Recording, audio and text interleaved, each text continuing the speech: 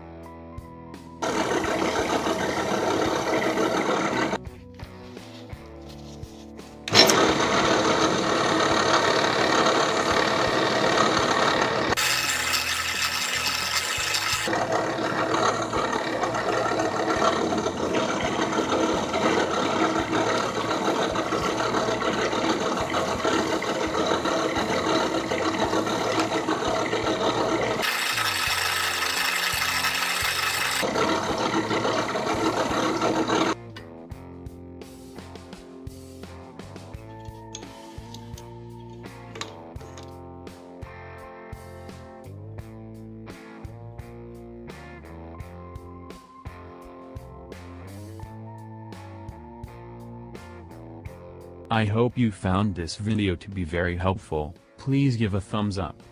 Thank you for watching, and please subscribe to this channel.